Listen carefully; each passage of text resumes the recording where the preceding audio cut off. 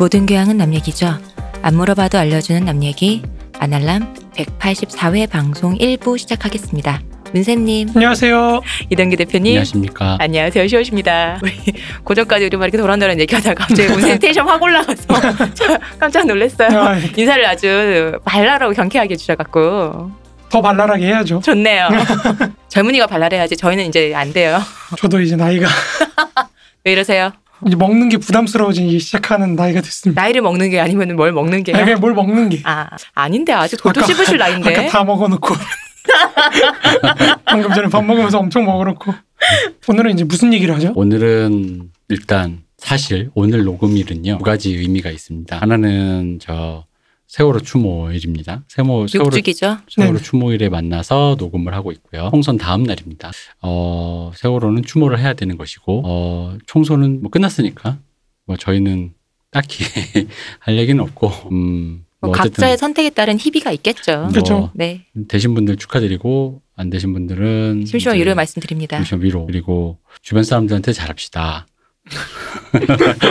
가족한테 잘하고 도와준 분들에게 잘합시다. 어, 이제 뭐 이런 말씀 정도 이제 드리면 될 것 같고 어쨌든 간에 4월 여기 뭐야 코로나 막 엄청 좀 하고 있는데도 선거는 했어요. 네. 그래서 어쨌든 이래저래 여차차 뭐 이거저거 다 지나가고 지금 길거리 보면 확실히 봄이다 보니까 사람들도 막, 막 이렇게 막 좀 술렁술렁하는 느낌이 보여요. 네. 제가 어제 지난주죠. 체해가지고 소화제를 사러 약을 사러 약국을 가는데 저희 동네 약국 앞에 시장이 있어요. 시장이 되게 썰렁하거든요. 네. 갑자기 거기가 그왜왜 마트 가면 왜 세일 5분 세일 할 때 왜 득다까지 달려드는 그런 음. 순간처럼 막 거기가 바글바글한 거예요. 순간 뭔- 뭔가 밀려드는 공포 있잖아요. 빨리 주변 마트를 들어가서 문을 잠궈야 돼. 약간 이런 느낌. 예, 약간 그런 기분이 살짝 들어가지고 거기다가 그, 그 시장이다 보니까 저희 동네 할아버지 할머니들이 좀 많이 가시는데 일단 일단 좀 화가 났던. 하- 우리 저희 동네 국한입니다. 저희 동네 한정. 우리 동네 한정. 우리 할아버지들 왜 마스크 안 쓰고 계십니까? 맞아. 근데 요즘에 진짜 많더라고요. 음, 아 그래요. 마스크를 안 쓰시는 분들이 많으셔가지고 네. 저는 계속 집에 있습니다. 저는 뭐 어디 가도 대중교통만 타고 가서 그런지 안 쓴 사람 보기가 좀 드물다가 요즘 조금 보이긴 하는데 그래도 음. 그렇게 많이 보진 못해서. 어, 그게 이제 시호님이 그 출퇴근 시간에 다니시는 거잖아요. 음, 그래서 그런가 봐요. 아마 그러실 수 있어요. 근데 이제 약간 한산한 시간에 길거리라든가 맞아. 마트, 뭐 대중교통 타보면은 의외로 많아요. 뭐 그러니까 음. 사람이 별로 없으니까 뭐 이 정도는 되겠지 싶으니까 벗고 있는 사람들이 진짜 많고. 저는 집이 이제 잠실 쪽이다 보니까 거기 석촌호수 이렇게 크게 있잖아요. 네. 근데 이제 가끔 이제 점심이나 이럴 때 한번 산책을 나가는데 한 바퀴 돌고 오거든요. 잠실. 근데 깜짝 놀랐더니 원래 막아놨었는지 풀어놨거든요. 어. 사람들이 다 마스크도 안 쓰고 아 진짜요? 거기서 직장인들이 막 이렇게 돌아다니더라고요. 그래요? 상당히 저는 그래서 걱정을 많이 하고 있습니다. 음. 그래서 어쨌든 저는 코로나가 이것도 물을 살짝 괜히 대보면 코로나 이후의 세계는 이제 달라질 것이다라는 지금 각 각계의 어떤 그 예언이 있지 않습니까? 뭐 저희도 그런 발표에서 그런 말씀하셨고요. 네. 어, 코로나 이후의 세계는 달라질 것이다. 그럼으로써 드디어 때가 왔다. 마르크스다. 아니에요, 여러분 이거 이거, 이거 오늘도 얘기할 얘기할 것 같은데 때가 왔다. 지금 그때 아닙니다. 마장군의 때가 왔어요. 아, 드디어 코로나 이후로 왔구나. 음, 왔다. 마장군이 왔구나. 아니에요, 아니에요, 여러분 이거 아닙니다. 병원균에는 자본가고 노동자고 구분 없이 걸리기 때문에 탐행크스도 걸리는 아, 이거 칼게 코로나. 아닌데 이거 좋아하면 안 되잖아. 음, 그러니까 그 정도의 영양 상태를 보유했을 탐행크스도 걸리는 판에. 그러니까 이거는 그 빈부를 안 가리고 남녀노소 안 가리고 걸리는 거니까 바로 이때 노동자가 집결해서 사격을 집결하면 안 됩니다. 여러분. 네, 안 됩니다. 자가격리 하세요. 네. 이런 젠장. 사회적 거리두기 합시다. 코로나 이후의 혁명은 달라져 달라져야겠군요. 사회적 거리두기로. 아, 그러면 이게 코로나 이후에 혁명도 달라져야 되고 확실히 아. 모든 세계가 다 달라져야 돼. 음. 전략도 달라.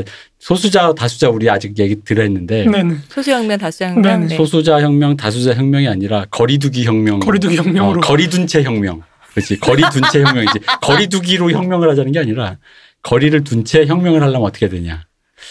아, 이것도 되게 어렵네요. 일단 사람이 모여야 파워가 생기는 건데 그렇죠. 모일 수가 없는데 아, 이거야말로 어, 그러면. 지난 시간에 얘기했던 그 부르주아가 농민이 6월 봉기 음, 프랑스의 6월 봉기를 진압할 때 그 부르주아들의 획책 있잖아요.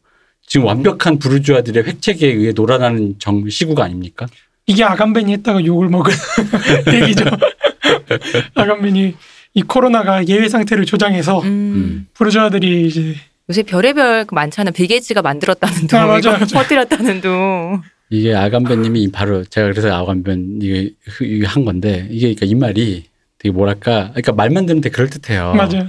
왜냐면 이제 그 우리 방송에서 나온 말이잖아요, 솔직히. 그, 그 방송이 지금 마침 이거에 그래서 왜 부르주아 전국을 획책한 다음에 보통 선거로 4월 15일 총선을 해서 부르주아 전국을 만들려는 부르주아 민주당의 음모 뭐 이런 식으로 해서 좌파가 민주당을 공격하면 뭔가 이게 뭐가 있어 보이는데 아 글쎄요 일단 우리는 일단 거리둔 채 혁명이라는 거를 좀 지향해야 될 것 같고요. 중요한 건 우리한테 중요한 건 아마 그건 것 같아요. 그러니까 뭐 이런 세계가 바뀌었으니까 우리가 이제 뭘 준비 이런 거보다는 바뀐 세계가 어떨지를 아무도 모른다라는 거에서 조금은 이게 뭐 절망이든 희망이든 비슷한 치 균등치를 갖고 있다랄까 음. 부자도 모르고 이거는 흔히 말하는 저 뭐야 그 투자의 화신 누구죠 그분 워렌 버핏 워렌 버핏. 워렌 버핏도 모른다 이거죠 저도 모르고 삼성전자 주식은 올라갈까요 그 동학 개미운동 약간 충격을 받았습니다. 음. 음. 아, 이거 좀 말리고 싶은데 사실 제 주변에도 갑자기 하시는 분들이 계시더라고요. 음, 네. 좀 더 있어봐라 약간 했는데 네 근데 뭐 아 이게 흐름이 참 여러모로 생각이 좀 복잡해지고 있더라고요 저도. 네, 그래서 저희가 저번에 혁명을 위해서 죽창반과 꽃병반을 모집했잖아요. 온라인으로 강의를 돌려야 되나 이런 생각 갑자기 들면서 아, 근데 어. 요즘에 진짜로 학회나 이런 데도 온라인으로 이렇게 하는 그럴만 하죠. 예, 그런 것도 좀 네. 있더라고요. 저 맞아 저 깜짝 놀란 기사 봤어요. 그 우리도 지금 그 초중 고등학교도 온라인 강의를 하잖아요. 근데 일본도 온라인 강의를 시작했는데 음. 보셨어요? 교실에 애들이 다 모여 있고 선생님만 집에서 그런 의미가 없잖아요. 제 말이 그 말이에요. 제가 너무 놀랐어요. 그 사진을 보고 뭐 하는 짓이지? 데이터의 근거한 거 아닙니까 어린애들은 잘 안 죽는다는 거 집에 돌아가잖아요. 어, 노인네가 죽지 어, 진짜 놀랐어요. 아 왜냐면 그게 고령화 사회가 일본이 워낙 심하다 보니 어떤 전략적인 방법 아니겠느냐. 그 일본 요즘 그런 유언비어도 되게 많더라고요 실제로. 음, 저는 왜냐면 그런 얘기도 들었어요. 이게 진짜 왜, 왜 미국에서 그러니까 지금 이탈리안가에서 실제로 한 말이잖아요. 부모 아? 영국이랑 부모 그쪽에서는 리무버라는 별명이 있다면서요. 코로나가 어. 부모 세대를 삭제해주는 병이다. 근데 이제 이게 그런 게 사실 그건 있잖아요. 그러니까 우리가 노인분들한테 이게 도덕상 인간상 죽어라 죽어라 할 수는 없지만 적어도 이렇게 얘기할 수 있어요. 100세 120세 시대에 걸맞는 그 경제 라이프 사이클을 인간이 대비하지 못했다. 그거는 지금 우리가 마이크, 마르크스 할 때도 마찬가지인 게 지금 19세기 때 자본주의가 충만해서 사회주의로 나아가는 길에 있어서의 그 자본주의가 충분히 성숙하지 않았다라는 말과 비슷한 의미로. 근데 그렇다고 해서 노인을 죽일 수는 없는데 그렇죠. 코로나가 삭제, 코로나가 마치 그것을 삭제해 주고만 있는 것만 같은 식의 그런 악랄한 농담이 나오다 보니까 마치 이걸 집, 고 초등학생이 이렇게 딱 하니까 걔들은 안 죽으니까 걔들이 가져가서 복균자가 돼요. 보건제 같아요. 집에 가서 집에 가서 곳곳에 어른들에게 퍼뜨리고 고령인들을 삭제하거나 인간성이라고는 뭐 이런 거 아닐까 이런 악랄한 얘기를 한번 이렇게 네. 공유되는 걸 한번 이 방송이 나갈 때쯤은 좀 진정이 됐으면 좋겠네요. 음, 그쵸 5월 달에 나갈 거니까 근데 뭐 인도네시아를 보니까 뭐 덥다고 해결되는 게 아니더라고요. 이게 에어컨으로 이렇게 네 에어컨으로 음. 퍼지다 네, 보면 그게 더 무서운 거예요. 이게 어떻게 될지 모르겠지만 이게 네. 이게 뭐 또 8월 9월에 다시 네네. 또 재유행한다는 음. 얘기가 또 돌아서 아니 그 왜냐면 6월 말만 돼도 전 6월 말부터는 마스크 쓰고 다닐 자신이 없어요. 그러니까요. 저도요. 너무 덥잖아요. 네. 지금도 솔직히 오늘 좀 더웠잖아요. 후끈후끈 하더라고요. 이렇게 음. 이 마스크 안이 그래서 전혀 자신이 없습니다. 그 마스크도 마스크인데 그 더위에 만약에 에어컨을 못 튼다고 생각하면 살 수가 없어요. 게다가 사실은 저희가 우리 작년에 좀 공개 방송도 자주 하고 뭐 사실 좀 이렇게 의외로 팬들 분들과 만나서 뭐 이런저런 얘기도 하고 하니까 재밌더라고요. 음. 슬좀 해보고도 싶은데 여전히 언제 시작해야 될지 음. 전혀 감을 못 잡겠어요. 그러니까 그래서 저는 그런 거죠. 젊다고 생각하시는 분들만 모여 모여라 그랬잖아. 나더 악랄한 말 생각났어. 아까 그거랑 연관해서. 뭐, 아, 네. 어, 아닙니다. 뭐, 자제 자제 자제하겠습니다. 네, 아닙니다. 그래서 저 그분들만 모이고 안 하려면 원격으로 하고 아까 일본처럼. 어, 일본처럼 젊은 안 하려는 팬들만 다 과수원에 이 모이고 방송 안 되겠네. 우리는 원격으로 우린 늙었으니까 악랄하신 그러면은 무생님 직접 아, 저- 가셔야겠는데? 저- 어, 문세님은 무슨 직접 가고, 어, 어. 대면 접촉 어딜 가라는 겁니까? 거기로. 보이신 곳으로 골로 가라는 거 아니에요? 아닙니다. 아, 저 세상. 아닙니다. 저 세상 아니고요. 좋은 곳이요. 모여있는 곳으로 가시고 네. 어, 저희는 어, 스트리밍으로 네. 화상 저도 저도 통화해요. 살고 싶어요. 네. 저도 집에 고양이가 있는 사람입니다. 젊은이라 괜찮지 않나. 음, 어. 어쨌든 그 그런 거를 지금 어쨌든 젊은 아날람 팬들은 모이고 우리는 저기 온라인으로 하는 방식을 지금 진지하게 생각하고 있으니까. 예, 이러지 마세요. 어, 네, 그래야지 제가 왜 그러냐면은 이번 선거를 보면서 선거구에 다운 분들 중에 좀 아 이 사람 아직도 나와 약간 이런 부분에 아. 약간 한숨을 좀 쉰 게 있어요. 이 젊은 분들이 좀 없고 세대 교체가 안 되는 그래서 음 사실은 마, 자 방금 하- 드린 말씀 농담이고 제가 기꺼이 지고 가겠다. 노인들? 노인들만 대면으로 보자고 문세님은 온라인으로 하는 게 어떠냐. 우리 다 함께 가자. 어, 좋은 곳으로 이런 가자. 원피시한 농담. 좋은 곳으로 가자. 내가 내가 끌고 가겠다. 요단강을 앞선 자는 이 대표다. 내가 노저 가리라. 가자. 대표님 가시기 전에 네, 통장 넘기고 가세요. 알았죠? 탈탈 털어드리고 가겠습니다. 제가 그렇지 통장이랑 않아도 비번이랑 남기고 가세요. 네, 탈탈 털어드리고 가겠습니다. 네. 그래서 여러분 자기가 이제 세대 교체가 돼야 된다. 난 더 이상 이 세대의 주인공이 아니다. 모입시다. 당연히 아니지. 모입시다. 모입시다. 아날람과 함께 요단강 건너요. 후계자는 누굽니까? 모르겠네요. 아날람 후계자는 누군가? 이제 문세님이 저의 뒤를 이어서 아, 제가요? 이렇게, 이렇게 해주시고 저는 이제 그러겠습니다. 아, 이 PC하지 않다. 뭐 하루 이틀도 아니고 뭐. 아, 괜찮습니다. 우리 전에 그 홍 작가님 계실 때 저희끼리 한번 배틀한 적 있어요. 누가 약자인가? 아, 그치. 약자의 게임. 아, 대머리, 노인, 여성 음. 누가 역자인가? 누가 소수자인가? 누군가요? 근, 데 제가 탈모 시- 제가 그때 이후로 우리가 아직 결론은 안 났는데 탈모 시장이 우리나라가 4조에서 8조 사이라 그랬거든요. 그렇게 커요? 음. 그렇다 보면 소수자를 치면은 탈모인들이 되게 강성인 거예요. 어. 근데 노인 인구도 지금 많아져 노인 시장도 크잖아요. 저 상만큼 많겠습니까? 그러니까 결국 그럼 탈모인 제일 적겠네. 어, 그쵸. 탈모인이 제일 소수구나 생각해 보니까. 목소리는 제일 크지 않을까요? 음, 중년 남성들이 많을 테니. 없는 만큼 더 비례해서 더 목소리가 누구 보고 원피시야 돼 지금? 굉장한 방송이군요. 오랜만에 즐거운 연산규적인 오프닝이. 아 모먼트 오랜만에 나왔네 완성되었군요. 진짜. 어쨌든 여러분 함께 뭐예요? 과수원 여러분 아시죠? 물론 과수원 사장님과 협의된 없지만 대표님은 우리 감 사장님 무슨 죄야 싶지만 어, 괜찮아.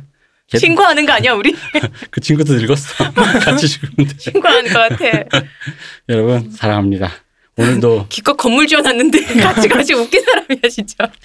어, 저희는 후원을 받고 있습니다. 그렇습니다. 음, 저희와, 이렇게 함께- 넘어가면 원피시 하면도 괜찮으시다. 저희와 동참하실 여러분들은 후원 부탁드립니다. 감사합니다. 아, 고맙습니다. 코로나, 코로나 사태에도 이게 좀 각자 힘을 내시길 부탁드리고, 어, 저는 그래요. 언피시든 피시든 간에 언피시한 거를 언피시다 하다고 느끼고 우리끼리 농담할 수 있다면 제일 좋은 방식인. 거라 생각하고 피시하든 안 피시, 언피시하든 좀 빠지겠습니다. 네. 이 모든 얘기가 농담, 아, 아날람 그때 184화가 그런 얘기가 있었어, 그런 농담이 있었어라는 게 들릴 거, 들리는 순간이 조속히 왔으면 좋겠습니다. 제가 요즘도 설거지나 이런 거 할 때 옛날 방송 들을 때, 아, 이때 이랬지라는 그 느낌 들 때가 있는데 오늘의 이 얘기가 그게, 아, 그때 그랬지라는 시간이 됐으면 참 좋겠습니다. 어쨌든 후원해 주신 분들 모두 감사드리고 앞으로도 더 후원해 주시기 바라고 아직 백지 수표 안 왔습니다. black card 안 왔네요. 네, 백지 수표도 오지 않았어요. 백지 수표 오면 그거 이상한 거라 요즘 시대 불- 백지 수표 오면 그거 그거 분명 히 부도 수표예요. black card 도난 카드. 그러니까 어쨌든 감사합니다. 자 이제 방송을 들어가 보겠습니다. 자 오늘 방송은 사실 지난 방송과 더불어 제가 생각하기에는 어, 제가 아날람을 들으시는 분들의 어떤 평균 이하의 지, 지능을 갖고 있는 사람으로서 그 지난 방송과 오늘 방송이 제가 생각하기엔 제일 어려워요. 그래요? 네. 약간 그러니까 어려운 거 그러니까 이게 긴가민가 해가지고 알듯 말듯 알듯 말듯 어, 어 그래. 이런 게 있지 하다가도 또 문세님이 들어주시는 보편적인 의미의 법칙을 듣다 보면 어 그건 또 아닌가? 이러다가도 음. 아니 또 다른 얘기 예를 들어 주실 때 아 그치. 그건 나도 실제로 본 적이 있어. 이해가 되려다가 그렇지만 하면서 또 뭐 사실 전 세계적으로는 이런 것이 또 이렇다 할 때는 어그또 하면서 약간 이렇게 아 왔다 갔다 아리까리한 그런 게 있어요. 근데 여러분 이 모든 걸 참고 들어야 광명이 열린다. 마장군님이 옵니다. 마장군님 오고 개안 영통 되고. 이거 약간 무속 방송 아니에요? 천국의 그 천국에서 마장군님 바로 옆에 쓰실 수 있겠시다. 아 근데 이제 지금 이런 방송이 네. 굳이 코로나하고 연결을 시키자면은 사실 네. 지금 지금 공급하고 수요가 동시에 되게 급격하게 축소하는 국면이거든요. 네. 지금 그러니까 그걸 놓고 이제 어젠가요? 그저께 발표를 했죠. 벌써 대봉쇄 시대라고. 네. 음. 그러니까 우리 시대는 이제 대봉쇄 시대로 들어, 들어선 건데 근데 이제 여기서 사실 제가 좀 주목하는 현상은 역시나 국가에 대한 의존이 굉장히 높아지고 있다. 음. 사람들이. 그러니까 제가 공항을 다루면서 공항 끝부분에도 이제 국가의 대응을 다룰 거거든요.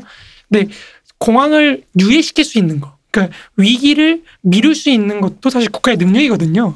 그러니까 이것과 마찬가지로 자본주의 사회에서는 위기 상황조차도 사실은 위기가 파국으로 이어지는 게 아니고 국가에 대한 어떤 인민들의 종속이랄까요? 의존도가 그렇죠. 의존도가. 높아지는 그런 계기로 삼는다는 점에서 오히려 더 국가나 민족 공동 공동체가 갖고 있는 힘이 무섭다는 점. 음. 음. 이게 좀 많이 드러난다고 생각하는데 네. 코로나 사태에서도 약간 그런 건 많이 보인다고 생각해요. 음. 그래서 이제 제가 이 방송을 물론 의도적으로 그렇게 쓴 건 아니지만 하면서 좀 그런 부분 한번 염두에 두시면서 좀 들으시면은 좀 더 와닿지 않으신가. 아 그리고 이제 참을성 있게 환난이 찾아올 때 마장군이 옆에 바로 옆에 설자 누구냐? 이 방송을 참고 들은 자. 이게 약간 그건데 그 성경 그거 아니에요? 그니까요. 아, 왜그 이번 공보물 봐도 꼭 이렇게 그 대표적인 위정자분들이랑 같이 찍은 사진을 자기 그 홍보에 많이 활용하시잖아요. 뭐 그런 거라는 거죠. 그래서 이제 뭐 네. 열두 제자와 뭐 이런 네. 건가요?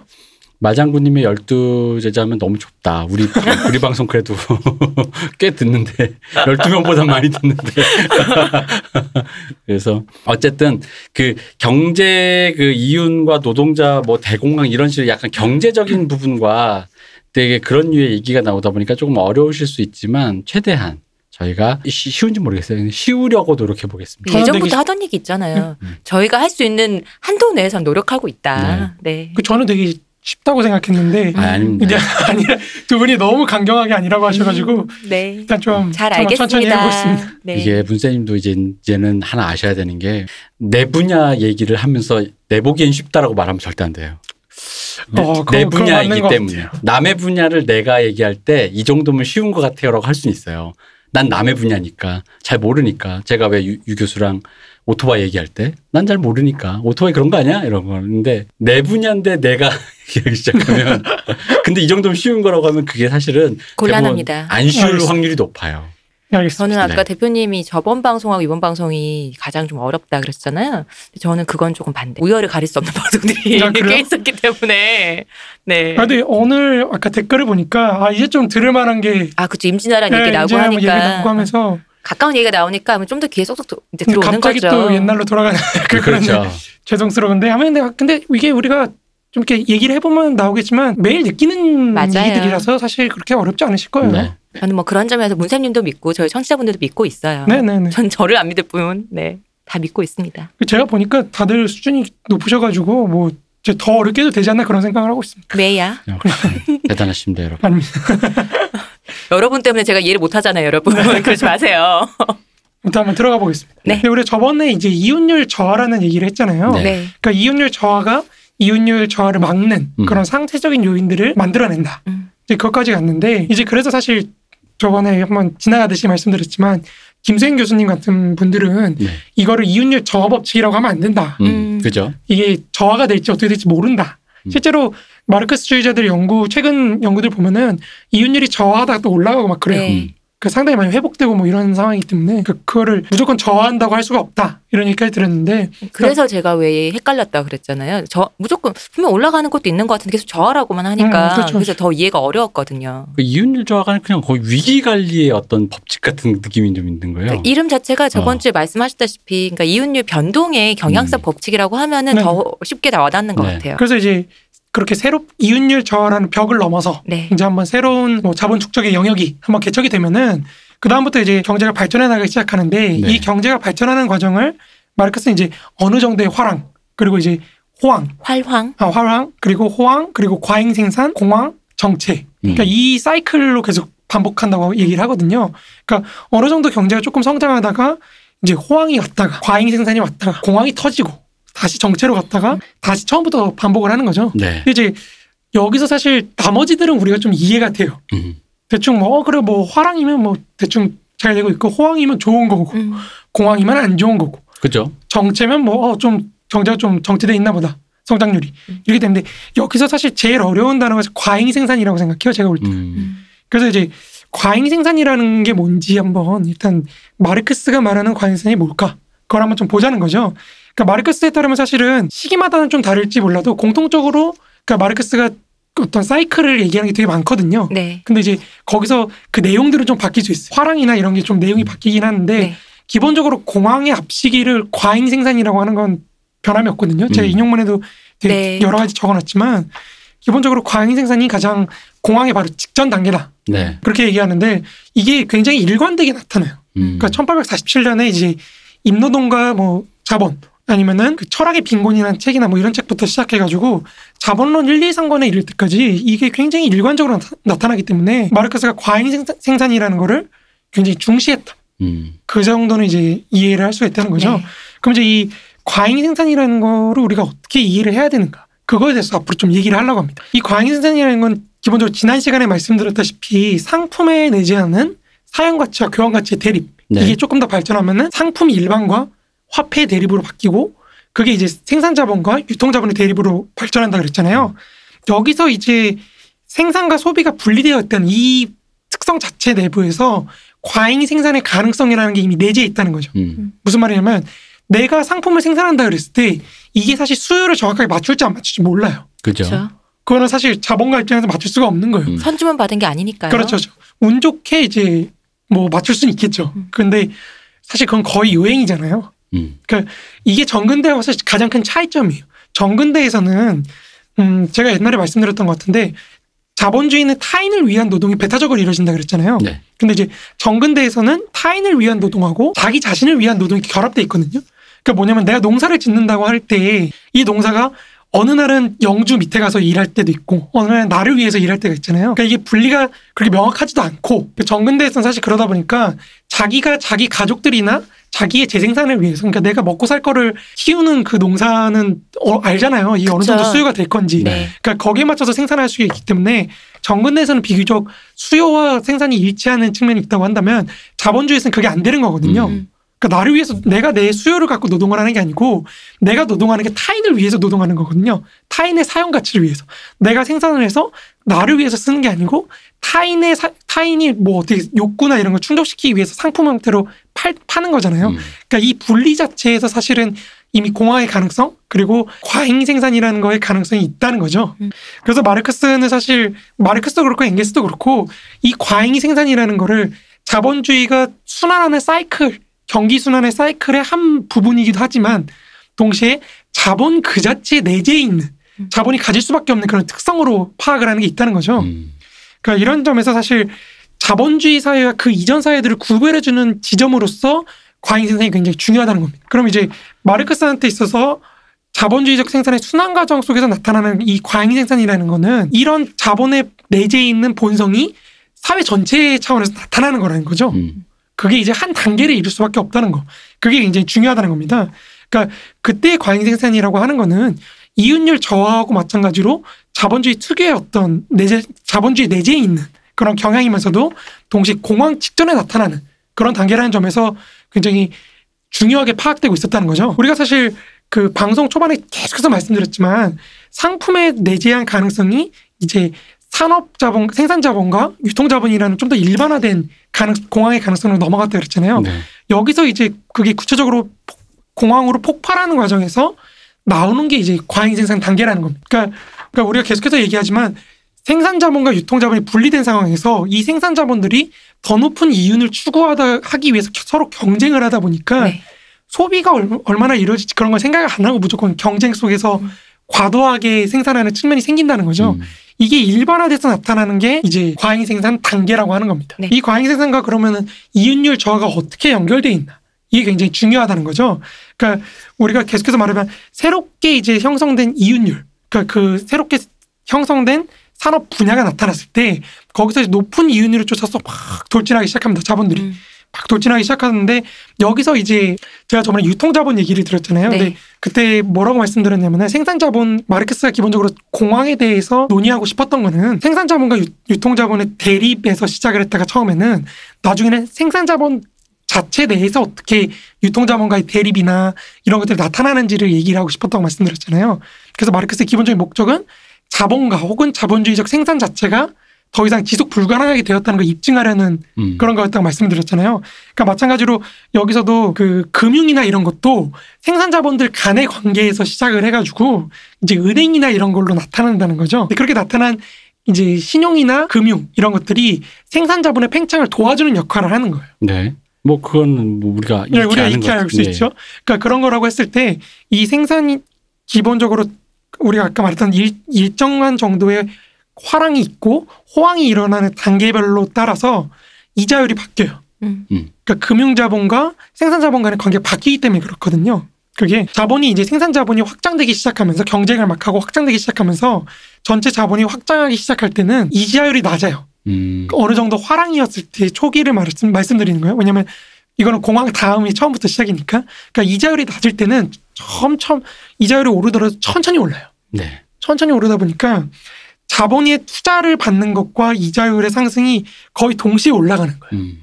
천천히. 내가 돈을 빌리기도 쉽고 돈을 갚기도 쉬운 거예요. 이 상황. 그게 어느 정도의 화랑 수준입니다. 네, 그렇죠. 이자율이 낮다라는 거는 돈을 빌려 여기 말고도 빌릴 때가 많고 충분히 그 채무자가 갚을 수 있는 여건이 되는 그렇죠. 상황이 충분히 만들어지기 때문에 이자율이 낮아지는 거잖아요. 그냥 흔히 말하는 빌려주는 사람이 그러니까 요즘은 은행이 갑이지만 그때는 은행이 빌 우리 걸 위왕이면 우리 은행 걸 빌려 가십시오라는 식으로 하기 때문에 이자율이 낮다 이렇게 편, 편하게 생각 이게 왜냐면 이자율이 낮아지고 이렇게 하면은 또 이것도 복잡해하시는 분들이 계세요. 아, 그렇죠. 그럴 수 있죠. 화랑된데 이게 낮아지고 뭐 호황된 높아지고 해서 그러니까 그게 아니라 그러니까 흔히 말하는 경기가 좋으면 돈을 빌려도 갚기가 좋고 음. 이제 그렇게 되면 여기저기 뭐 A 은행과 B 은행이 있는데도 돈을 빌리더라도 이거 다 되게 단순한 거지만 뭐 이왕 우리 은행 거 빌려 우리 어 자꾸 특정 은행이 돼버렸네. 음. B 은행 거 빌려가세요라고. 광고 부탁드립니다. 이게 B 특정 은행을 빌려가세요라고 당연히 그러니까 요즘 그게 비슷한 얘기로 일본이 지금은 어떤지 모르겠는데 작년까지 왜 그 아베 그 양적 양적완화. 그 아베노믹스 해가지고 예, 아베노믹스에서 회사가 마이너스 이- 그럼이었죠, 심리요. 예. 예. 그래서 회사가 일자리가 너무 많아서 이제는 회사가 그 부- 직원들한테 갑질을 못 한대요. 네, 맞아요. 왜냐면 관두면은 손해니까 음. 그래서 만약 관두면은 그 책임자한테 엄청나게 뭐라고 한다 그러더라고요. 근데 그러다 보니까 회사가 오히려 선택을 구하는 시기라고 그렇게 됐는데 그게 바로 웃긴 게 바로 몇 년 전 한 2000년대 90년대 후반에서 2000년대 고요 10년 사이 15년 사이에 구직을 했던 이른바 80년대생 그 근처 사람들은 그런 시절이 아니라 불경기 때 막 원서 100개, 200개씩 쓰다가 된 사람들이니까 이게 그 이해가 안 되는 거죠. 정서 차가 엄청나대요. 뭐 조금만 가르치려고 그러면 아 그럼 회사 관둘게요 이래버린다는 거지. 근데 그거와 비슷 뭐좀 딴 얘기지만 어쨌든 그런 식으로 은행이 읍소하던 시절입니다. 이게 그렇죠. 이자율, 이자율이 낮다는 건 은행이 읍소한다 이렇게 생각하시면 될것 아, 같아요. 이게 왜 낮은 이자율인지는 이제 뒤로 가면 네. 네. 공황과 이제 그리고 파탄 나면서 왜 음. 다시 이자율이 낮아질 수밖에 없다는 거 한번 볼 겁니다.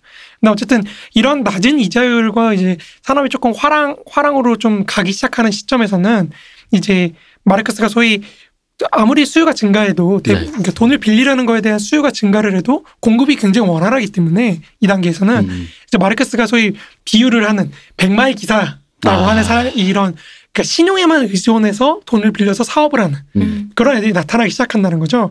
이 백마의 기사들이 이제 호황으로 가는 그 문을 열어젖히는 그 지표라고 보거든요. 네. 그러니까 여기서부터 우리는 미래를 알죠. 이제 어떻게 될 건지 이 백마의 기사들이 막 신나게 달려가다가 어떻게 될 건지 미래를 알지만 어쨌든 이 백마의 기사들이 이제 호황이라는 문을 열어젖히기 음. 시작합니다. 근데 그 말씀하신 백마의 기사라는 게 우리는 굉장히 그러니까 우- 이게 되게 설명 그게 당연히 나타나는 현상인 거죠. 그렇죠, 그렇죠. 아, 왜냐면 이제 우리가 IMF를 겪으면서 우리 사회에서 특히나 많이 좀 도이 뭐랄까 생각 사람들이 생각하는 게 그런 방금 말씀하신 그 백마의 기사라는 그런 현상이 IT 쪽에서 나타났었잖아요. 굉장히 부도덕한 아, 그렇죠. 것으로만 부도덕한 것으로 많이. 만 이게 인식을 한다는 거죠. 흔히 말하는. 요행을 음, 바란다든지 그렇죠. 그 사업을 하면은 어떤 대출도 받고 확장을 위해서 뭔가 할 수밖에 없는 것임에도 불구하고 흔히 말하는 자기 자본 왜 자기 자본율 얘기하잖아요. 그러니까 자기 자본도 없이 저렇게 빚만 내서 확장을 이게 흔히 말하는 기무중식 방식이랑 네, 그렇죠. 굉장히 이게 그 뭔가 그 생각 연상되면서 그러니까 근거도 없이 확장을 해서 빚을 빚으로 메꾸면서 왜 또다시 음. 빚을 늘려서 또 더 큰 빚을 내는 이런 방식을 굉장히 한국 특히나 한국 사회에서 부도덕한 방식으로 보고 그 IMF 때문이죠, 뭐 결국에는. 지양해야 된다라고 우리는 이제 많은 사람들이 그렇게 알고 있는데 사실 제가 알기로는 사업이란 게 그렇게만 자기 돈만으로는 할수 없잖아요. 절대 할 수가 없죠. 그러니까 백마의 기사라는 건 어쨌든 나타날 수밖에 없는 현상이기도 하고 일정 부분은 그런 것이 또 필요하다는 거잖아요. 필요하죠. 그러니까 요 부분에 대해서 조금 그러니까 이게 뭐 또 이것도 잘못 얘기하면 또 마르크스도 긍정한 백마의 기사가 되고 그러니까 뭔가 선입견을 좀 갖지 말고 네네네. 들어주십사는 뜻에서 얘기 드리는 거죠. 예 그렇습니다. 그게 이제 한국 역사에서는 이제 여러 번 그런 경험이 있었잖아요. 네 옛날에 그렇죠. 지난 시간에도 말씀드렸지만 김정령 교수 이제 옛날 장관 같은 분들은 그런 거에 대해서 너무 이제 음. 되어가지고 왜냐면 네. 이자율을 낮게 해서 대출해줬더니 음. 이것들이 돈놀이하고 어, 돈놀이하고 뭐 이러다 보니까 한국 그리고 또 IMF 때 그런 단기성 대출이 네. 네. 기업을 많이 운영을 했는데 특히 한국 기업들이 제일 큰 문제가 사실 그거였거든요. 그러니까 단기로 채무를 져가지고 장기 프로젝트를 메꿨거든요. 음. 음, 계속 그런 식으로 메꾸다 보니까 돌려막기를 그렇게 네, 하니까요. 그렇죠. 돌려막기죠. 일종의 우리 개인들도 카드 돌려막기 네. 그런 식으로 하다 보니까 그게 이제 잘못됐을 때 사실 국가가 망하는 걸 경험을 해보다 보니까 그리고 아까 원 그 원장님이래. 아까 미용실이에요. 미용실. 큰일 어디 났어. 어디, 어디 원장님? 겨울 좀 아, 몸이 안 좋아서 아까 대표님이 말씀하시는 바로 그게 만약에 남의 돈만 빌려서 내 자본 없이 남의 돈만 빌려 사업을 했다 쳐요. 근데 내가 내가 망했잖아요. 그러면 나는 내 돈을 갖고 한 게 없기 때문에 나는 사실 마이너스가 아니란 말이야. 근데 남의 돈 빌린 그 사람 나한테 돈 빌려준 사람들 전부 다 망하는 거거든요. 그래서 네가 사업하는데 남의 돈만 빌려서 남을 남만 망하게 한다라는 식으로 들린단 말이지 이 백마의 기사라는 게. 그래서 그런 선입관을 좀 갖지 말고 들어주십사 하는 거죠. 뭐 그래서 뭐 돈 벌면 됐죠. 근데 그거를 어. 되게 되게 뭔가 하여간 선입견으로 아, 그러니까 어, 돈을 어. 벌면 좋은데 망한 경우에 너 음. 때문에 몇 명이 자빠지냐는 거지. 음, 그렇죠, 음. 그렇죠. 네, 그러니까 잠깐 여담인데 이것도 그러니까 한국이 사실 그렇게 했던 게 대마불사 때문이잖아요. 음, 네. 그렇죠. 근데 실제로 이게 보면은 역사적으로 보면은 대마불사가 입증이 잘 안 돼요. 음. 음. 그러니까 우리도 재벌 기업들이 계속 도산하거든요. 그죠? 예. 이미 뭐 IMF 이전에도 엄청 많이 도산을 음. 했고 계속 도산을 했기 때문에 사실 뭐 시장은 정직합니다, 여러분. 그리고 그것 때문에 그래서 그렇게 돈을 막 쏟아 부어주고 맞아요, 했었잖아요. 근데 맞아요. 하지만 결국은 분식회계로 뭐 그런. 그죠. 네. 그, 그, 참. 그 재벌분들 그런 그런 농담 이죠. 재벌이 사실 뭘 잘했냐. 국가가 다 국민 세금으로 어. 그런 얘기도 있잖아요. 어. 그런 식으로 어쨌든 이런 근데 백마의 기사들이 사실 있어야지 네. 경제가 굴러간다는 음. 거예요. 사실은. 음. 규모도 커지고요. 그렇죠. 규모도 커지고 규모도 수요나 이런 것도 계속 늘어날 수가 있고 네. 여기서 착각하시면 안 되는 게 뭘 하는지 설명할 수 없는데 외제차를 끌고 다니는 사람 사업가라고 말하는 사람 직함은 CEO요. 조심하십시오. 대표고 이런 그 사람인데. 얘기하는 거 아닙니다. 네. 근데 아무튼 이런 백마 기사의 어떤 돌격이 호황으로 가는 문을 열어 젖히는데 음. 네. 이제 이제 호황기로 접어들기 시작하면서 이자율이 이제 그, 그 전에 최저치와 음. 앞으로 오게 될 최고치 사이의 평균으로 이제 도달하게 된다는 거죠. 네. 그러니까 여기까지는 아직 괜찮은 거예요. 네. 기본적으로. 뭐 우리 IMF 직전 생각하시면 뭐 괜찮을 것 같습니다. 네. 그렇죠. 그러니까 그래서 마르크스는 이 호황기 때 그 이자율의 적당한 수준과 음. 이제 그거에 기초해서 화랑이 일어나는 이거를 이제 건실한 상태라고 얘기를 해요. 그러니까 산업자본과 대부자본이 동시에 순탄하게 이제 발달하는 거죠. 이거를 이제 건실한 상태라고 표현하는데 뭐 건실하다고 해야 될지 그럴지 모르겠지만 어쨌든 계속해서 이런 백마 기사부터 시작해서 여러 산업자본들이 원활하게 돈을 빌렸다가 갚는 그런 과정이 계속 반복되면서 산업 음. 전체가 확장해 나가는 그런 과- 단계라고 생각하시면 될 것 같습니다. 그러니까 산업자본이 생산한 상품의 판매와 대수, 대금의 어떤 회수가 굉장히 순조롭기 때문에 이제 산업자본가들 사이에서 상업신용의 이용이 굉장히 확대가 되고 은행 신용이나 뭐 대부자본에 대한 수요도 계속해서 늘어나고 뭐 그에 따라서 이자율도 점점 상승하다 보니까 이윤간 이윤 중에서 이제 이, 이자로 유출되는 부분이 있을 거 아니에요. 네. 그러니까 네. 마르크스는 기본적으로 이윤을 이 기업가의 수익하고 은행이나 이런 어떤 신용자본의 이자로 네. 나눠서 보는데 음. 그러니까 여기서 문제가 뭐냐 이자가 너무 늘어나면은 당연히 이윤이 줄겠죠. 그죠? 네. 그러면 지난 시간에 말씀드렸다시피 수요라는 건 기본적으로 자본가가 갖고 있는 거라고 보기 때문에 음. 이자의 비중이 너무 커지면은 자본가들이 이윤이 줄어든다고 생각해서 투자를 안 하겠죠. 음. 그렇죠. 근데 이 상태는 경기가 화랑인 상태이기 때문에 그리고 호황이 이미 열어젖혔기 때문에 그런 단기적인 이윤의 감소도 자본가들이 감수한다는 겁니다. 음. 그러면서 더 뭐뭐 새로운 산업을 더 키우든지 규모를 키우든지 하면 이윤이 늘어나니까요. 눈앞에 지금 돈 벌 수 있는 게 보이는데 돈 그렇죠. 좀 빌려서 투자해야지라는 뭐 그런 그런 때인 거죠. 맞습니다. 그러니까 그런 식으로 해서 산업과 신용의 발달이 동시에 이제 팽창하는 그런 단계가 된다는 거죠. 그러니까 이윤율의 저하가 이제 마르크스인데 이때 딱 생긴다고 얘기를 해요. 음. 그러니까 무슨 말이냐면 자본가들이 이윤을 쫓아서 막 뭔가 새로운 걸 막 시도를 하다 보니까 그리고 돈도 수월하게 들어와. 음. 갚기도 수월해. 이러다 음. 보니까 장기적인 프로젝트나 이런 것도 많이 하기 시작하는 거예요. 네. 생산력 증진을 위한 어떤 네. 그런 것도 하고 뭐 여러 가지 기획 프로젝트나 이런 것도 좀 많이 해보는 거죠. 그러니까 호황기부터 생산력 발달을 위한 여러 가지 프로젝트가 시행된다는 거. 음. 호황기 기초에서. 네. 그러니까 우리가 저번에 개혁은 좋을 때 해야 된다 그랬는데 자본가들은 역시 훌륭하게 개혁이 좋을 때 하고 있습니다. 음. 근데 이게 문제는 사실 이제 여기 이런 장기 프로젝트 같은 게 사실은 이윤을 회수하기 전에 경기가 안 좋아지면 이제 정말 그쵸. 커지는 거죠 프로젝트가 우리 그 재벌들 망하듯이 그렇게 되는 건데 사실 한국 재벌은 이거하고 조금 다릅니다. 네. 재벌들은 한국 재벌 기업들의 사실 문제는 가장 큰 건 그거죠. 이윤이 낮은데 덩치를 키워서 전체 이윤 양을 늘린 거죠. 음. 서로 돌려 막아서 네. 이게 안 열려. 그러니까 하나가 넘어지니까 다 넘어진 거잖아요. 그러니까 어쨌든 그런 건데 뭐 그것도 사실 비슷해요. 여기 나오는 거하고. 어쨌든 이렇게 장기 프로젝트도 시작하면서 생산력 증진을 이뤄내는데 그러니까 어느 정도의 화랑과 호황기에는 소비의 한도를 고려하지 않고 그냥 자본주의가 가지, 갖고 있는 어떤 생산력을 극대화시켜가지고 그냥 해볼 수 있는 거 다 해보는 거예요. 음. 그래서 산업 자본의 생산력 이나 뭐 축적 능력이나 이런 거에 최대가 되는 그런 최대한으로 활용하는 그런 시기가 바로 이 시기입니다. 네. 그러니까 이때 이제 초과 이윤을 얻기 위한 자본들 간의 경쟁 속에서 이제 드디어 우리가 앞에서 말했다. 이윤율 저하가 그렇죠. 자본의 유기적 구성이 고도화되기 시작하는 거예요. 음. 그러니까 이게 굉장히 심각한 문제입니다. 그리고 경쟁이라는 건 기본적으로 계속해서 제가 이윤율 저하 설명드리면서 말씀드렸지만 그 초과 이윤을 균등화시키기 시작한다 그랬잖아요. 그러니까 제가 돈을 벌어. 그럼 나도 저기에 참여해서 생산하기 시작하는 거예요. 네. 네. 이런 식으로 되다 보니까 전체 자본의 이윤이 균등화되기 시작해요. 음. 계속해서 균등화 작용이 일어나고 그러다 보니까 전체 이윤율도 점점 떨어지는 거예요. 음, 음. 그러니까 어느 특정 부분에서는 초과 이윤 얻고 막 이랬다고 하더라도 음. 경쟁이 격화되면 격화될수록 균등화되기 시작하니까 네. 전체 이윤율 자체는 사실 별로 그렇게 메리트가 없는 수준으로 내려가기 시작한다는 거죠. 음. 우리 지난 시간에 예를 들어서 말씀드렸었잖아요. 뭐 이렇게 뭐 유행했을 때 우후죽순처럼 그렇죠. 생기는 어떤 것들. 네. 거기서 이제 이윤율 균등화가 되는 거죠. 그러니까 한두 개 있을 때는 몇 개 없으니까 굉장히 잘 됐겠지만 그렇죠, 그렇죠. 많아지면은 다들 이제 전체적으로 안 되는 거죠. 그렇죠.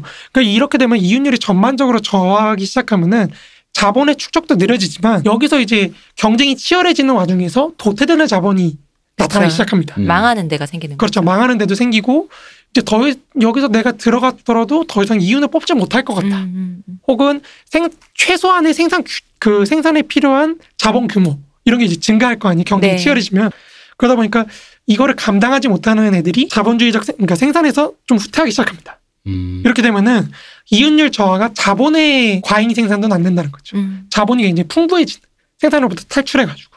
그러니까 이런 단계가 되다 보니까 저번에 제가 이윤율 저하하면서 여러 가지가 과잉이 된다고 했지만 노동력의 과잉도 나타나고 네. 상품 자체의 과잉도 나타나지만 여기서 이제 자본 자체의 과잉도 나타난다는 거죠. 네. 그러니까 이게 굉장히 중요한 거예요. 무슨 말이냐면 자본주의적 생산이 일어나면서 자본 그 자체가 잉여가 되기 시작하면요. 나중에 이것도 사용할 수 있을 정도로 다시 만들어줘야 돼요. 음. 음. 그러니까 그 과정이 이제 공황이라는 거죠. 음. 자본의 잉여 자본도 없애줘야 되는 거예요. 이게 그러니까 어, 사람이 잉여가 되는 건 실업자가 늘어나는 거라고 하셨잖아요. 그렇죠, 그럼 그렇죠. 자본이 잉여가 되는 건 뭔가요? 그냥 유유 자본이 늘어나는 거죠. 근데 놀던지 아니면 음, 이런 돈들이 이제 금융이나 갈 데 없는 돈이 갈데 생긴다. 이제 투기로 가겠죠. 음. 음. 부동산 투기라든지 뭐 이런 것들 있잖아요. 뭔가 이렇게 우후죽순 많이 생기니까 저기 지금 들어가기는 못하는데 돈은 있고 뭘 그렇죠, 그렇죠. 이런 남는 돈들이 생긴다는 그렇죠. 거기 거죠. 뭐 주식 투기를 할 수도 있고 네, 사실 네. 부동산 투기 우리는 그렇죠. 우리는 뭐 땅이죠. 돈은 가볍고 땅은 무겁다는 아, 그거 어, 그거 뭐 말이 멋있는데요? 어떤 부동산 업체에 이제 큰 플래카드를 본 적이 있습니다. 역시 자본가들은 위대합니다. 짜릿해. 아주 말만 들어도 벌써 그렇죠. 예. 그 옛날 어른들이 돈을 흔히 말하는 그런 생산수단 음, 그런 거에 투자하지 않는 않고 그렇게 흔히 말하는 주식, 뭐 금융, 아, 뭐 그쵸. 그- 그런 거 하는 것들 다 도둑놈이라고 어른들 왜 흔히들 맞아요, 맞아요. 저런 저런 근데 그런 데가 다 요, 요런 그렇죠. 이미지들에서 이런 이런 예. 이미지들이 그렇죠. 굴뚝에서 연기 나는 거 아닌 건 하지 말라고 음, 어른들은 그런 말씀 하셨잖아요. 그러니까 이게 이런 의미에서 사실은 자본주의 벽이 높아진다는 거예요. 아, 무슨- 벽 벽이 높다는 건 그러니까 뭐? 무슨 말이냐면 자본이라든지 노동력의 수입돼가지고 생산에 건실하게 쓰여야 되는데 네. 네. 더 이상 그러지 못하고 남는 것들이 계속해서 나온다는 거거든요. 음. 이윤이라는 거에 참여할 수 있는 한계가 점점 높아진다는 거예요. 음. 이윤율 저하가 자본주의적 생산이 넘을 수 없는 벽을 키우는 그런 과정이 된다는 거죠. 그럼 뭐 일종의 뭐 조금 더 축소해서 생각해 보면 흔히 말하면 생산 수단을 보유할 수 있는 벽도 높아진다 이렇게 그렇죠. 그렇게. 생각하시면 되죠. 그러니까 어, 쉽게 생각하면 아까 이제 우후죽순으로 가게가 많이 생기는데 그 비슷한 가게가 많은데 우리 가게만이 뭔가 특별해야지 더 잘 팔릴 거니까 아주 엄청 크게 매장을 뭐 처음부터 그렇게 한다든지 아니면 네. 아예 뭐 특별하게 굉장히 뭐 비싸게 굉장히 재료를 아주 고급에 쓴다든지 이런 식으로 그런 자본의 벽이 높아지는 거죠 시작을 할 때 그렇죠. 뭐 그런 식으로 생각할 수도 있겠죠. 그렇게 되면 이제 기본적으로 들어가는 자본의 그쵸. 비용이 높아지는 네네. 거잖아요. 이렇게 생각하면 되겠네. 옛날에 왜 동네마다 있는 얼음 가게 있잖아요. 아, 얼음 이렇게 쓴 네, 데가 얼음. 있었죠. 근데 그 그런 언제적 얘기죠? 있었어요. 예, 옛날에 있었어요. 얼음 그래가지고 이제 배달해주고 그러는데 요새는 이제 만약 에 그런 걸 하려 그러면은 그걸 배달하기 위한 냉동 설비부터 시작해서 어, 그렇죠, 그렇죠. 여러 가지 그러니까 흔히 말하면 그게 벽이 높은 거잖아요. 사실 맞아요, 제가 맞아요. 그거를 옛날에는 할거 톱으로 없으면 써셨어요. 어, 톱으로 썰었잖아요. 아, 네. 톱으로 네. 톱으로. 어, 어느 시대죠? 톱으로 썰어서 집게로 집어서 구한말. 네, 그래 하여간 있었습니다.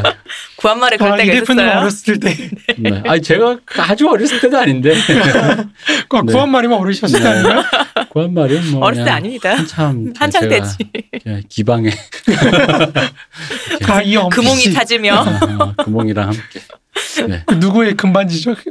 금반지 뭐죠? 뭐 이수일 어 이슬 다이아 다이아 다이아. 아, 다이아 다이아 금반지 갖고 아, 되나요? 금반지 가지고 안 되나? 아이, 그 당시에 활황이어서 만주 아, 활황.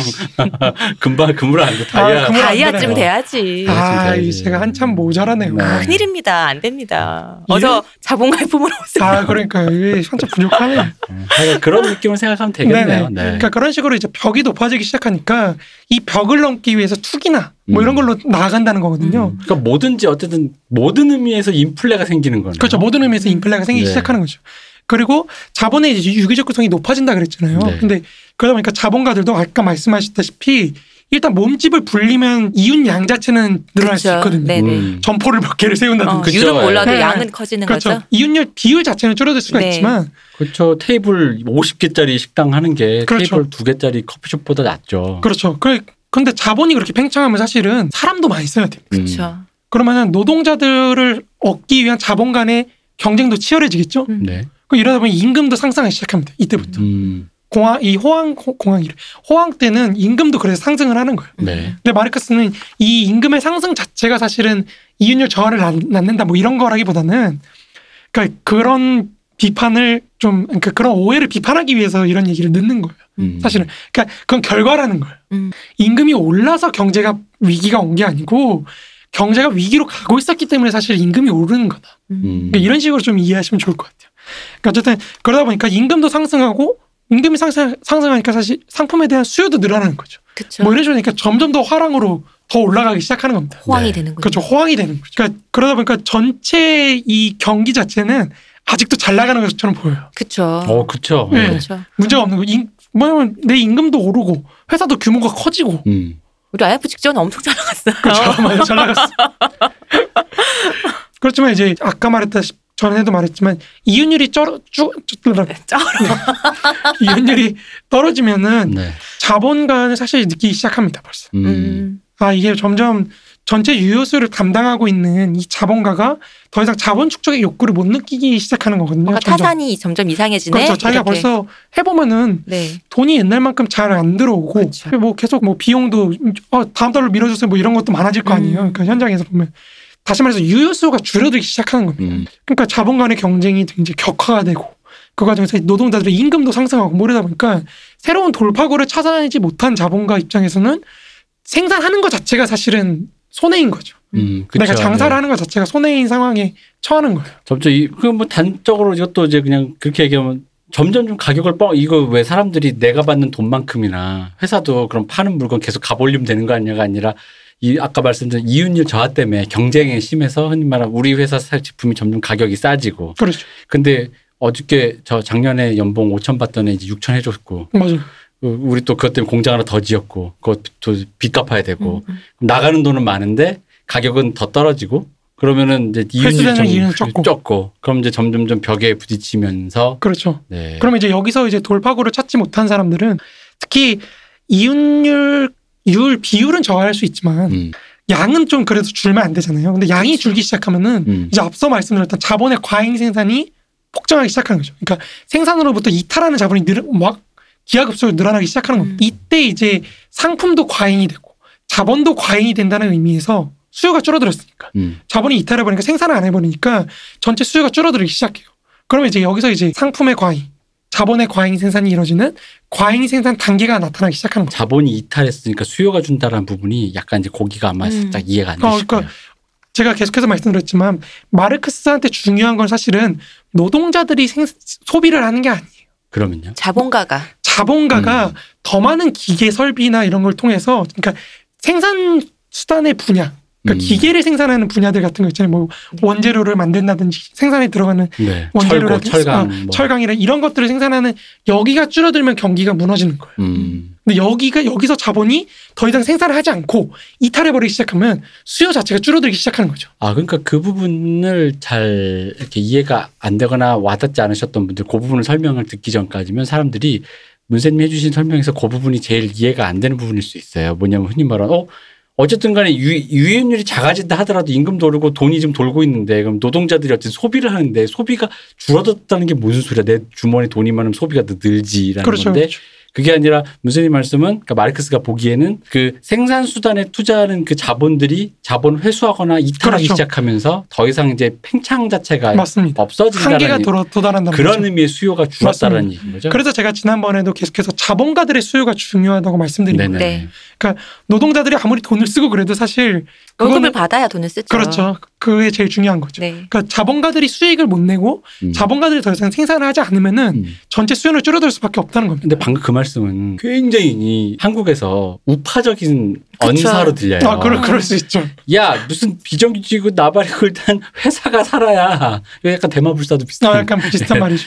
회사가 살아야 그 다음에 뭐 고용을 해주던 월급을 주던 할 건데 뭐 회사가 뭐 어찌되든 뭐 일단은 뭐 다 비정규직으로 전환을 하라는 등 뭐 최저임금을 뭐 20만 원, 100만 원, 1000만 원 하라는 등 이게 말이 되냐 이런 식의 얘기들이 그렇죠. 있잖아요. 그렇죠. 그게 확장이 되면 국가가 있어야 국민이 있지라고 확장이 그렇죠. 되죠. 그렇죠. 네네네. 카카가 계셔야. 그렇죠. 음. 카카가 곧 국가고 음. 사랑합니다. 사람입니다. 카카.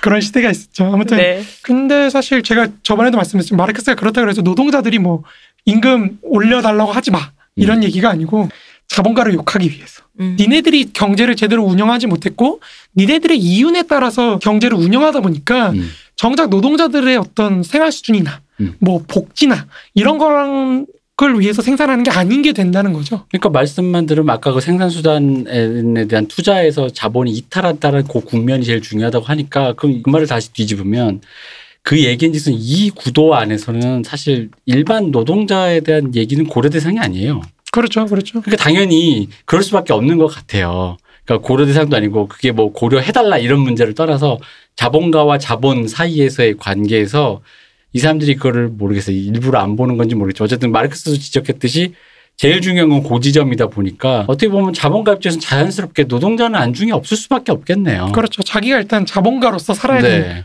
그러니까 이때 이제 지표가 되는 게 뭐 설비 투자율이 줄어드는 네. 뭐 이런 게 제일 중요하다는 거죠. 그런 의미에서 경제신문의 설비 투자율 이런 얘기를 하는 거군요. 그렇죠. 음. 그게 뭐 가동률이나 이런 거 있잖아요. 네네네. 그런 게 제일 중요해지는 게 음.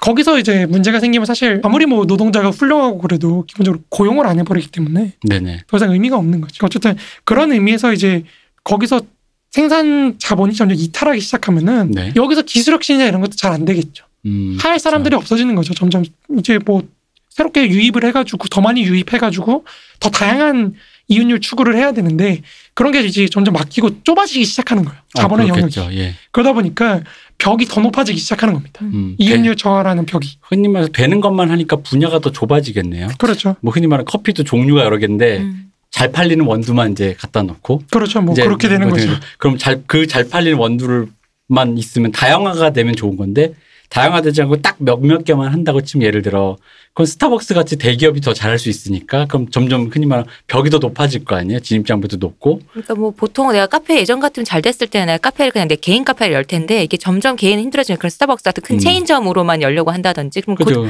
그 쪽으로만 수요가 몰릴 거니까요. 그렇죠. 그런 식으로 이제 저번에 말씀드렸다시피 벽이 높아지니까 음. 그 내부에서 집중이 이루어지는 거죠. 네. 집정과 집적이 막 음. 이루어지고 막 서로 경쟁하면서 엄청 난리를 칠 거 아니에요. 어쨌든 간에 규모 경제를 달성해야 되는데 좁아지니까 당연히 그럼 그, 그 어느 정도의 규모가 있는 애만이 그 규모 경제를 달성한 상태에서 나머지는 들어올 틈이 안 생기는 거잖아요. 그렇죠. 점점 이제 좁아지니까, 뭐, 그렇죠. 예. 후퇴되는 거죠.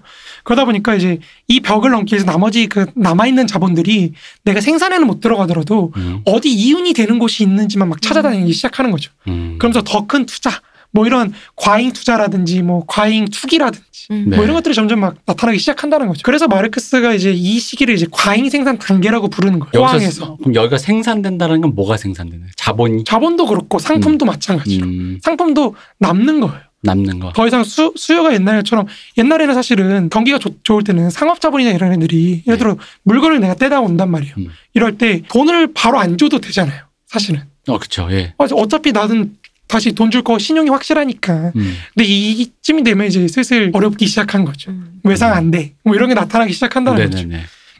이런 단계가 이런 과잉 생산의 단계가 마르크스는 마르크스가 이제 자본의 절대적 과잉 생산이라고 부르는 음. 단계까지 이제 간다고 보는데 말이 어렵잖아요. 자본의 과잉 절대적 과잉 생산 별게 아니고요. 네. 내가 더 이상 돈을 투자해서 얻는 게 없을 지경까지 간다는 거예요. 음. 음. 그러니까 이제 추가 자본을 했을 때도 내가 이윤을 별로 얻는 게 없을 때 음. 더 이상 돈을 들일 필요가 없겠다라고 느낄 때까지 된다는 거죠. 이런 네. 단계가. 그러다 보니까 이렇게 자본의 축적이 점차로 이제 줄어들다 보니까 생산 수단이나 생활 수단에 대한 수요도 점점 줄어들기 시작하면서 판매가 정체되기 시작합니다. 음. 그래서 이제 과잉 생산이 공황 바로 직전에 이제 위기로 치달으면서 자본주의와 함께 팽창했던 그런 신용들도 갑자기 이제 폭발하기 시작하는 거죠. 음. 이 사장 나 급해 음. 뭐 이렇게 되는 거죠. 음. 나 급한데 어 저도 없어요 사장님 뭐 이렇게 되기 시작하는 거죠. 그리고 더군다나 은행이나 이런 게 들어가기 시작하잖아요 여기.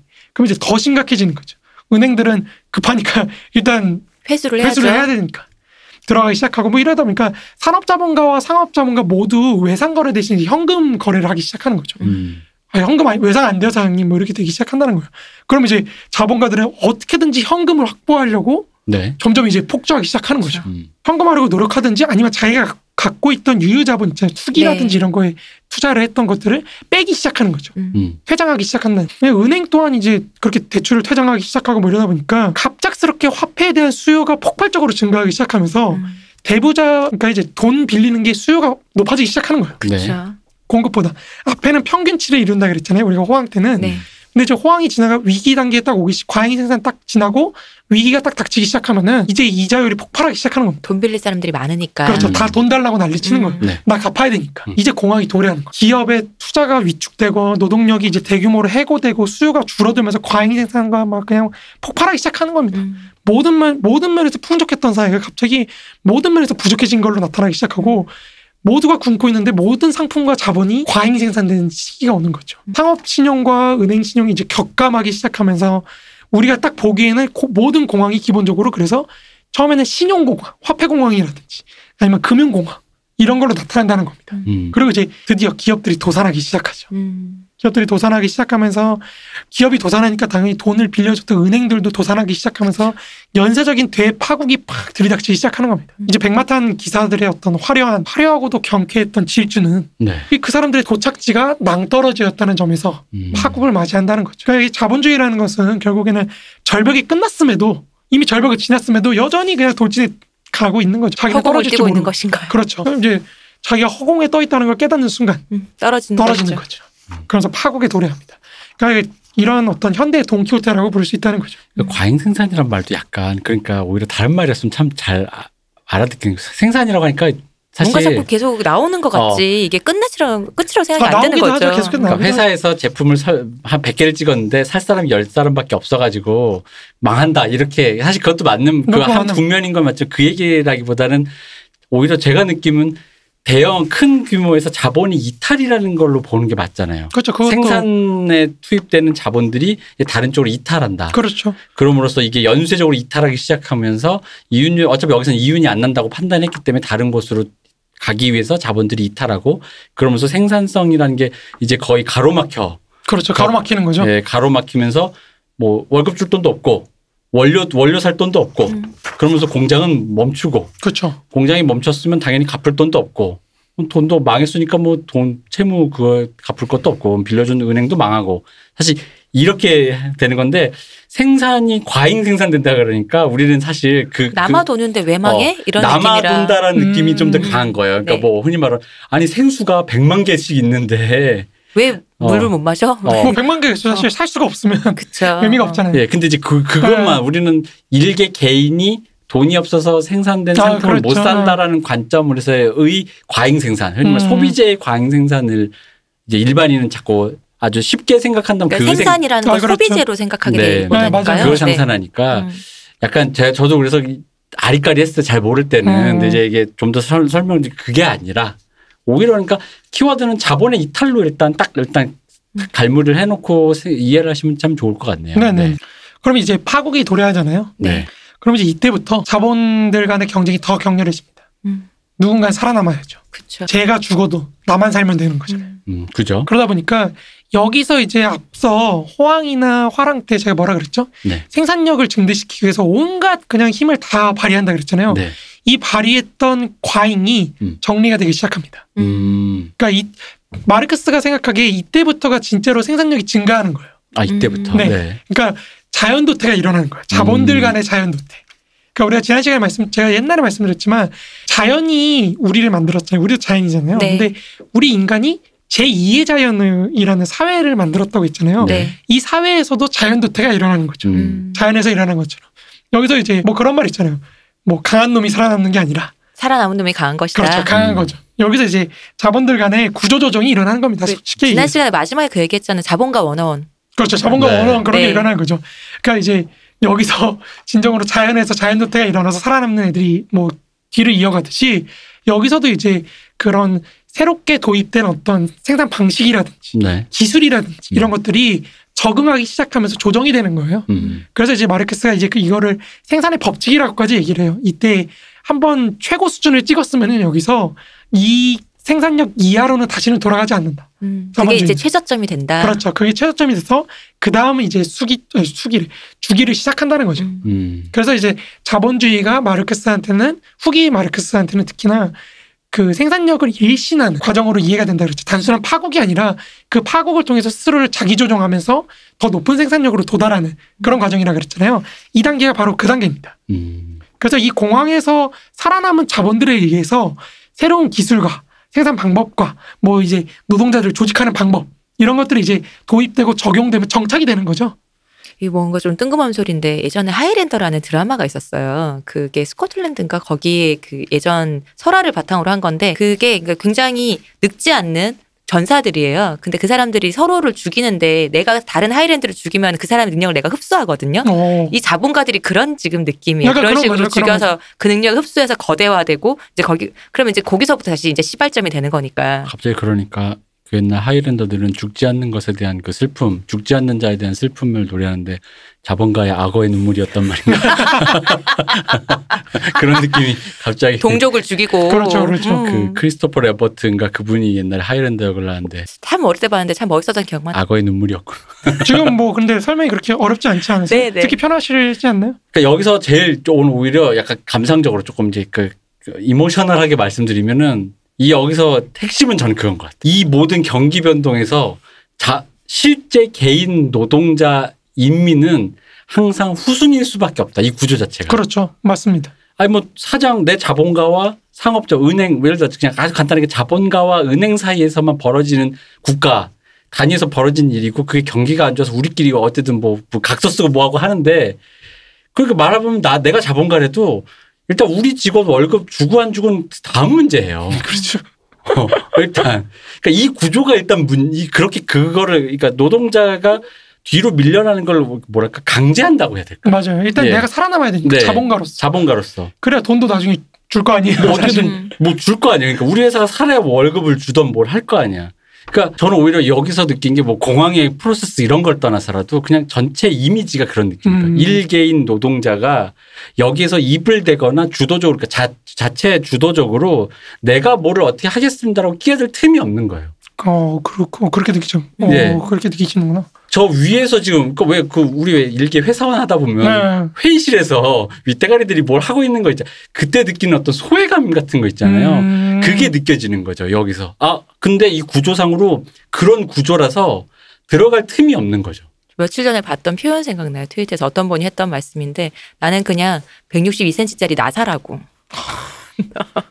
그 말씀이 생각이 나네요. 그러니까 이게 여기서 약간 그 느낌이 드니까 약간 오히려 그러니까 뭐 자본가 개인의 욕심, 자본의 탐욕 이런 어떤 얘기보다는 구조 자체가 그런 걸 강제한다라고 느껴졌어요. 어, 그러면 잘 전달된 것 네. 같아요. 음. 노동자 저는 아까 왜냐면 그래서 이해가 안 됐거든요. 왜냐면 맨 처음에 과잉 생산 그런 얘기를 처음 들을 때는 아까 말씀 소비재 얘기 생각하니까 네. 노동자 기준으로 생각을 하니까 내가 노동자니까 잘 그 구조 프로세스 이해가 안 되는데 아 이게 지금 노동자를 빼고 지금 얘기하는 거다라는 음, 느낌이 그쵸. 드니까 이 판에 우리가 없구나라고 하니까 그러니까 외려 확 이해가, 이해가, 됐어요. 어. 그렇죠. 예. 물론 이제 그렇다고 해서 노동자들의 소비가 뭐 아무런 의미가 없다. 아, 그건 아니- 아니죠. 그건 예. 아니죠. 어쨌든 최종적으로 누가 소비를 해야 네. 이게 상품이 굴러가는 거잖아요. 그러니까 이제 이 구조적인 강제가 그러니까 이 프로세스 자체가 내가 숟가락을 댈 때가 일단 없다라는 거에서 오는 뭐랄까 약간의 그 절망감, 소외감, 섭섭함, 기타 여러 가지 감정이 막 좀 몰려오네요. 애초에 없었구나.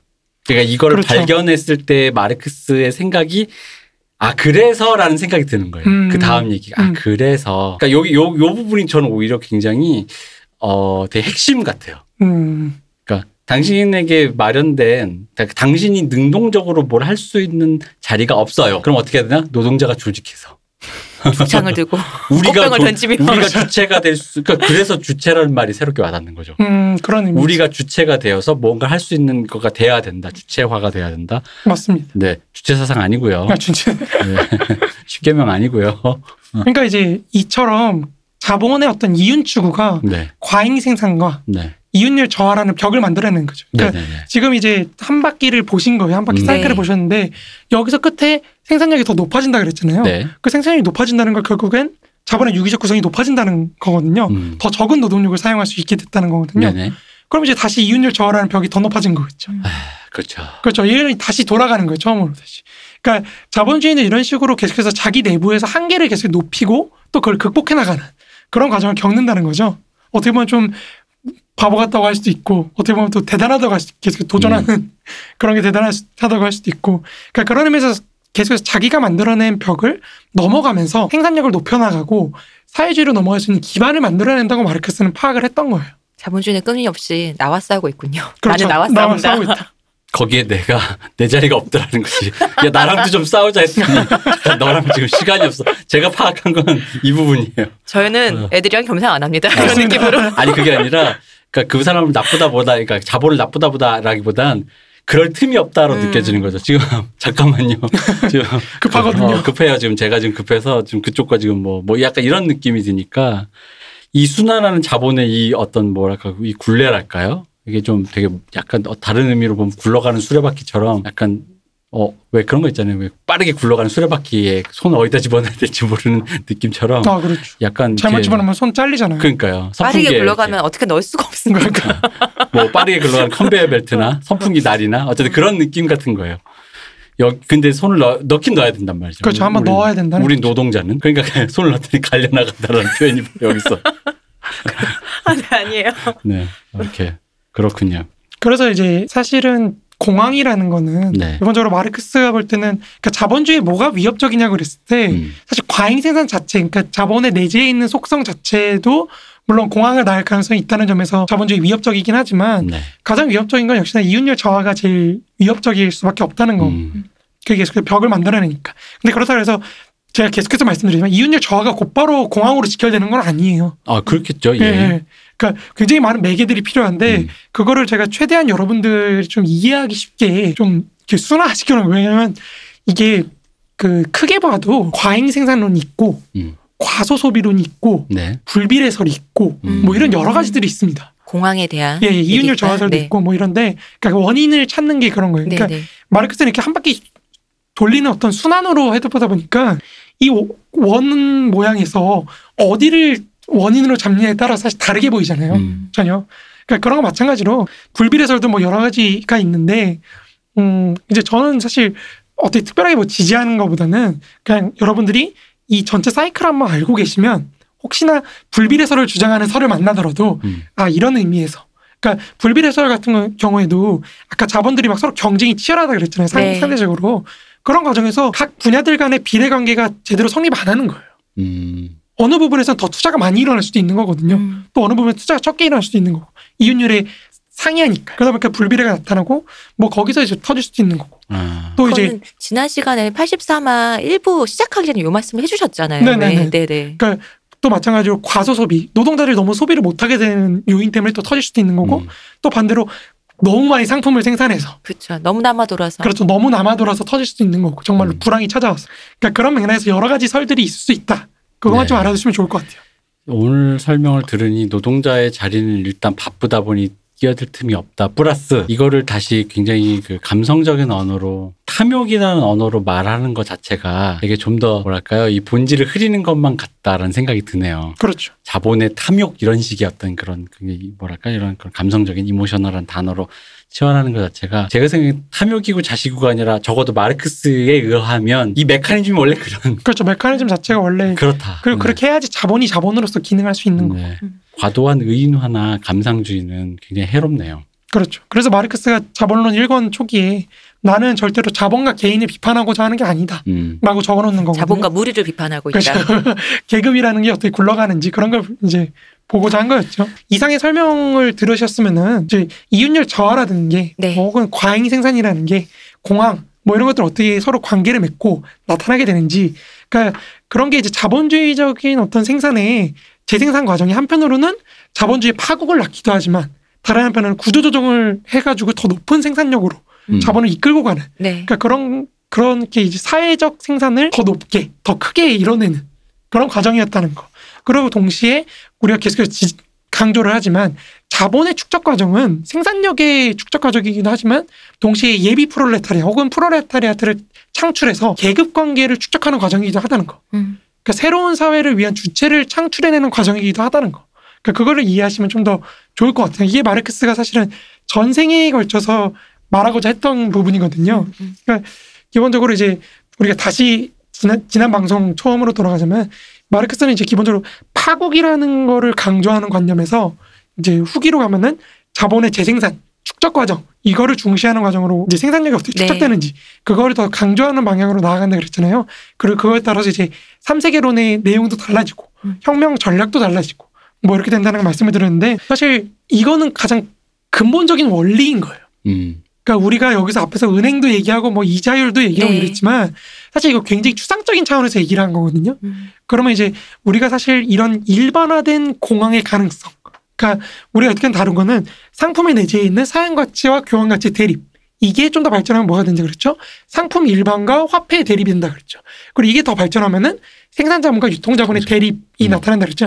이 상태에서 공황의 가능성에 대해서 지금 얘기를 한 거예요. 네. 이 상태에서 공황이 터졌을 때 이런 식으로 터진다. 음. 그럼 이 원리가 실제로 가능성이 아니라 현실성으로 더 나아가서 필연성으로 나아가기 위해서는 아무래도 우리가 지, 지난 시간인가요? 지난 시간에 말씀드렸던 그 자본의 3대 시장 네. 이런 것들의 관계 속에서 어떻게 나타나는지 그걸 한번 필연성으로 끌어올려져 가는 과정을 이제 다음 시간에 한번 보려고 합니다. 네. 다음 시간에 그럼 우리 이제 더 더디어래 드디어 그렇죠, 세계 드디어. 공황 하나요? 세계 공황을 하는 거죠. 음. 여러분 드디어 세계 공황 이걸 보시면 코로나 이후 어디 어느 타이밍에 매수 타이밍을 삼성전자 아실 수 있을 거라고 이렇게 또 약 팔아서 근데 이거는 사실 공황이라고 하려면 지금 코로나 이 사태를 네. 이게 말- 우리가 봤지만 사실 호황이라는 굉장히 이상할 정도의 축적 충동이 음. 나타나야 되거든요. 네. 과잉 축적이 막 일어나고 막 투기도 하고 막 난리를 쳐야 되는데 옛날에 저희 방송할 때 제가 했던 표현이 있어요. 버블버블하는 그렇죠 버블버블하는.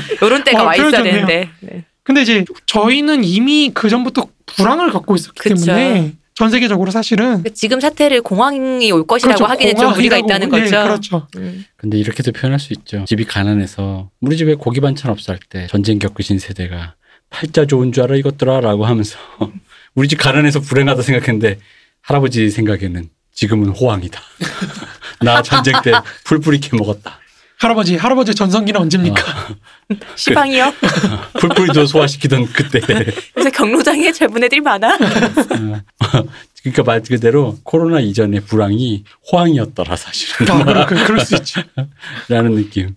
아마 어떤 세대의 어른들에게는 그럴 수 있죠. 그렇죠. 네. 네. 실제로 뭐 듣기도 하는 얘기니까요. 그런 음. 얘기는. 음, 그래서 뭐 이제 그런 뭐 모르겠고요. 어쨌든 어, 삼성전자 매수 타이밍은 내일 알려드리겠습니다. 네, 감사합니다.